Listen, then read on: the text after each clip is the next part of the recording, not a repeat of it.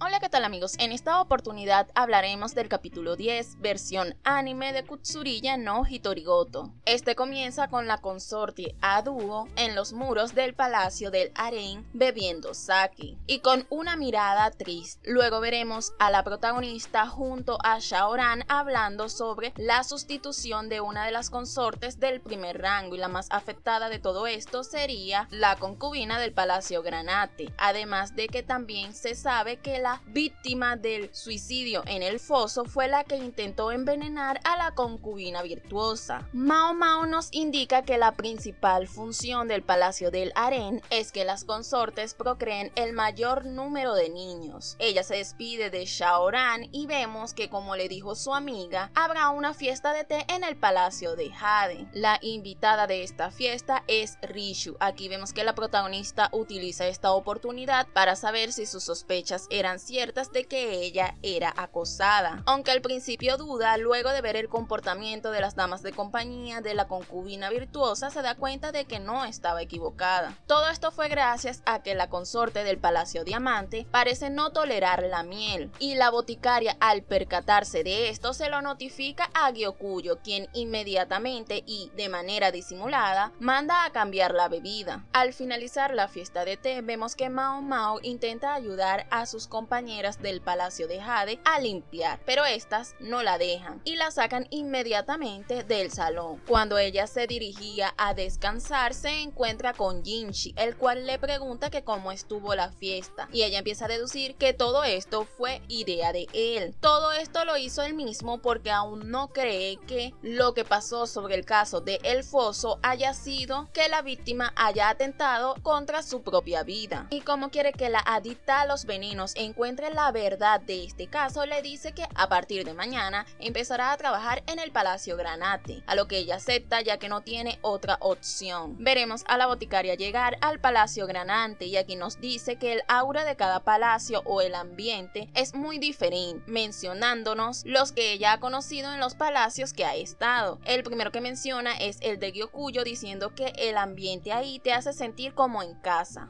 El Palacio de Cristal de Lifa es refinado y noble, mientras que en el palacio que acaba de entrar siente que el ambiente es, es sencillo pero elegante. Aquí nos hace ver con sus pensamientos la protagonista que el eunuco pervertido no le dio ninguna tarea en específico. Aquí vemos cómo ella es recibida por la jefa de damas de compañía del Palacio Granate, además de que también aparece la consorte a dúo, la cual tiene un carisma que le es muy familiar a la protagonista.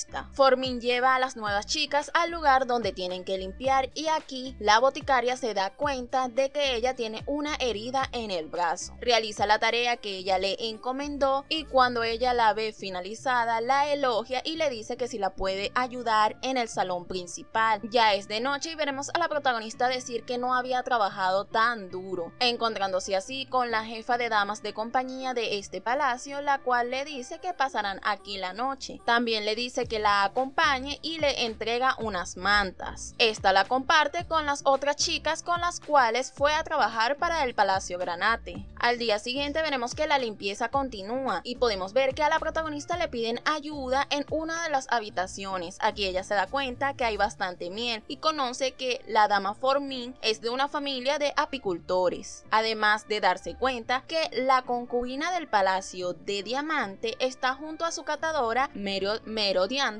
en los alrededores de este palacio, lo que hizo que Mao Mao recordara lo que sucedió en la fiesta de té con la bebida de miel que le estaban ofreciendo a Rishu. Después veremos que la protagonista le da su reporte a Jin, el cual no está muy satisfecho, pero luego de escuchar otra cosa que tenía que decir la protagonista sobre la dama Formin, este se da cuenta de que no se equivocó en enviarla, y aquí Mao Mao nota que ya él había mandado a investigar a esta dama de compañía. Y vemos uno de los momentos más graciosos de este capítulo, ya que Jinchi le quiere dar un premio a la protagonista, es darle de probar miel a lo que ella se niega, pidiéndole ayuda a Gao Shun, pero este se hace loco. A lo que la protagonista dice que se vengará colocándole laxante en la comida. Pero gracias a este juego tan atrevido del protagonista, ella pudo atar cabos y darse cuenta de la verdad de este caso. Y aunque que ya aquí ella estaba a salvo de cierta manera, llega Gyokuyo para detener lo que está haciendo Jinshi, haciendo que él mismo huya de la habitación. Finalizando este episodio con Mao Mao diciéndole al asistente de Jinshi que la próxima vez él será el que pruebe la miel de su amo, algo que le parece desagradable a este personaje. También le pide el favor que la lleve al Palacio Diamante, donde la misma habla con la concubina Rishu, para que le explique por qué ella no tolera la miel. Aquí descubre que hubo un incidente cuando Rishu era pequeña que al probar una miel casi muere. También se da cuenta del comportamiento de las damas de compañía de la misma diciendo que la hacen creer a ella que son sus amigas, pero terminan siempre acosándola. Aquí la catadora utiliza un engaño que también le sirve para vengarse de Jinshi, ya que le dice a las damas de compañía de Rishu que si tienen alguna queja que vayan hacia donde está él. Después de su conversación con la consorte Rishu, vemos que Mao Mao le pide al asistente de Jinshi que por favor le consiga documentos de los incidentes que han sucedido en el palacio. A lo que él va, encuentra los documentos en la biblioteca y se lo entrega a la misma. Ahí ella se da cuenta lo que sucedió en el parto de la consorte a dúo, también descubriendo así el oscuro secreto que su padre no le ha dicho y que él fue el responsable de este parto, pero al ver fallado en eso, fue desterrado del palacio del harén, además de quitarle una rodilla, finalizando así este episodio. En mi opinión fue un capítulo bastante interesante porque así Mao Mao descubrió un misterio que sucedió